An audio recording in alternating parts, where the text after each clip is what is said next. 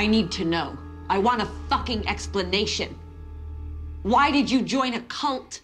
Why did you destroy our family? Why? You were. You were a mess. And the butchery was 10 times more work than we thought it would be for half the reward. I just. I. I felt. I felt like I was out of control, like there was no boundary or structure to contain me or my feelings. And I wanted someone to come in and say, do this, go there, believe in this, care about that. A daddy. I guess, yeah. It felt so good to take my hands off the wheel.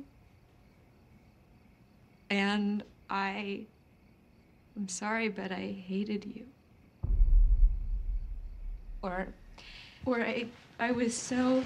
I was so angry at you that I thought I hated you. And in my head, I told myself if the price that I have to pay for this feeling of relief was destroying you, then. then. then why not? People died, Ivy, because of you.